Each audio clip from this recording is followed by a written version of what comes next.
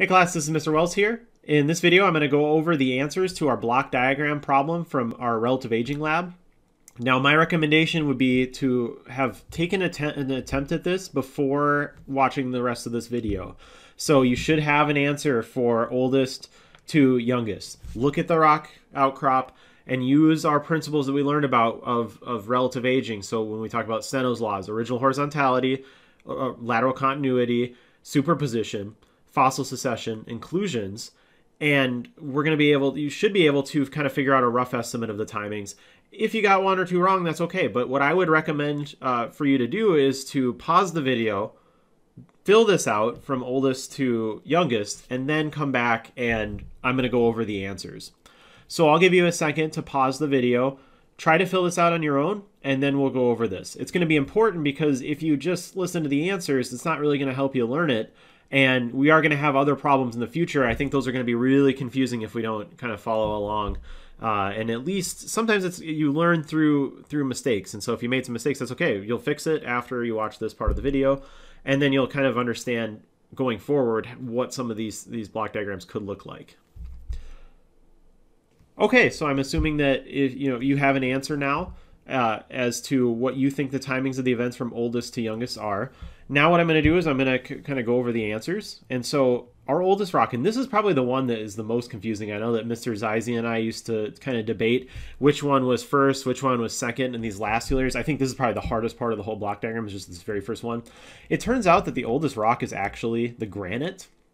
Now this one might seem to violate one of our uh, one of our original rules. So I would totally understand if you had slate first uh, if that was your answer, that would to me that would totally make sense. But it does turn out to be the granite. Now you could make an argument. The granite is is an igneous rock. It looks like it's cutting through the slate.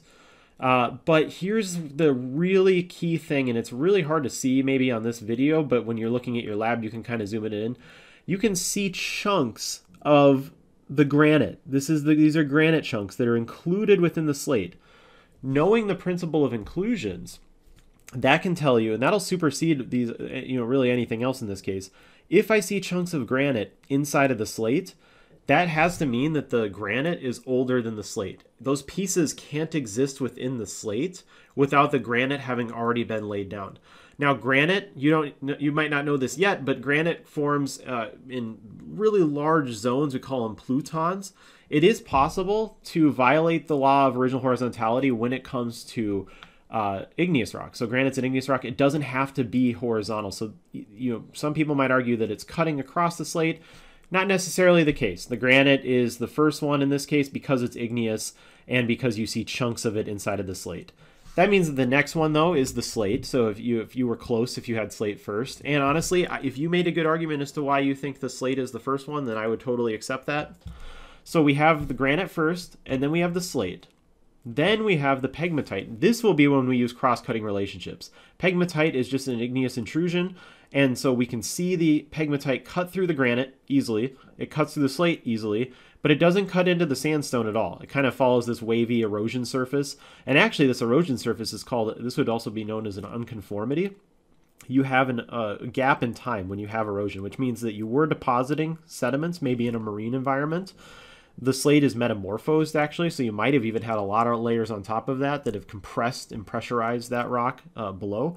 And then eventually you lost a lot of underlying layers and you've created this erosion surface. Again, I don't I say don't write the erosion surfaces, so this is not a layer. This is just telling you what's going on geologically. It's another piece of evidence. The pegmatite though cuts through the granite, cuts through the slate, doesn't quite cut through that erosion surface, and so the pegmatite is next. The sandstone would be after that. This is our horizontal deposition, original horizontality. We know that this layer is uh, on the bottom here of the limestone, so this layer has to come first. And then we have our limestone. This is where we use superposition, the, the principle or law of superposition. We know that it's the sandstone and then the limestone. That's traditional marine deposition you would see uh, over the course of time. So we're probably going from a shallow marine environment with sandstone to a deep marine environment. Deep ocean is where you form limestone. And so that's the next one is limestone. Then we would look at the basalt, this basaltic dike. That's another igneous intrusion that cuts through the granite, it cuts through the sandstone, it cuts through the limestone. And then finally, our last two layers, we'd have this volcanic ash. Now, this is hard to see. It's actually this little like uh, dashed line across here.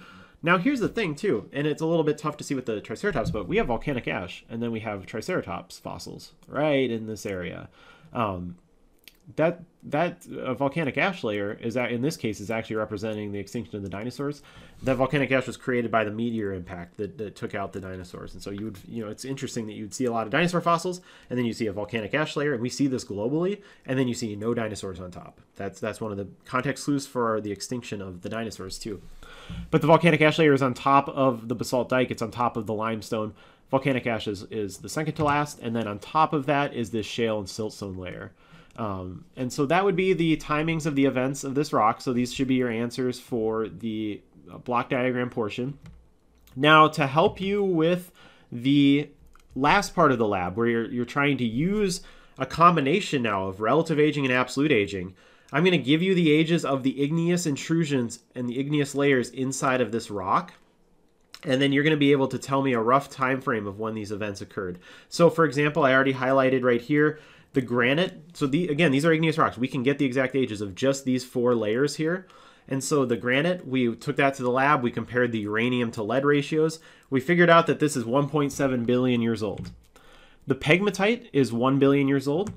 The basalt is 250 million years old. Million, not billion. And the volcanic ash layer, that is an igneous layer. Uh, that would be something we could get the exact age of. We know that that is 65 billion years ago like I said, that's the extinction of the dinosaurs. We know that that happened 65 million years ago, and that's how we figured that out. Was we were able to age the volcanic ash layer. Now, I've given you the four igneous intrusions. We know for sure that these are dates uh, that we can be confident about in the rocks. This is going to help you get those ranges. So, for example, when I ask you about the fossil succession, when I ask you about the bacteria fossils relative age, I don't know how old the fossil is because it's buried inside of a slate. I can't get that's a metamorphic rock. I can't get the exact age of that. But what I can do is I know that the granite is older, the slate is in the middle, and the pegmatite layer is younger. So for that first answer below, uh, when it's asking about the range of the fossil for the bacterium, I can know for sure that the range is 1.7 billion to 1.0 billion. And you want to write it like that, older to younger. 1.7 billion to 1 billion is the age range of the bacteria. I'm going to ask you about the other fossils as well too. So see if you can use these exact ages that we know to figure out the timings of the events below. And also, as I've been talking in this video, I've also been mentioning some context clues about the environment. Like for example, the sandstone is deposited in a shallow marine environment. The limestone is uh, developed in a deep marine environment. It's talking about a change of the environment over time. That's so that's another example of using not just relative aging, but using our context clues to figure out the story of the Earth in different periods of time and different locations. And so that should help you with some of the questions uh, below as well. So that was it for the instructions for this video. Hopefully this all makes sense. If you have any questions, please let me know while you're in class.